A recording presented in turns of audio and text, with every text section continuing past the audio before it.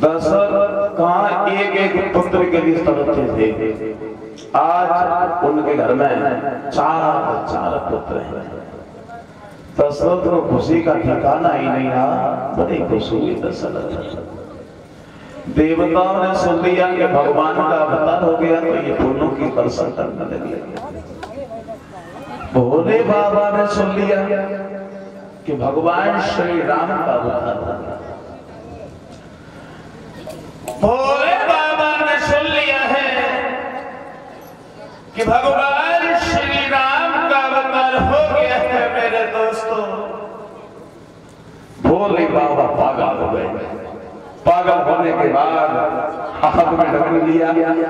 नाचने लगे। भोले बाबा।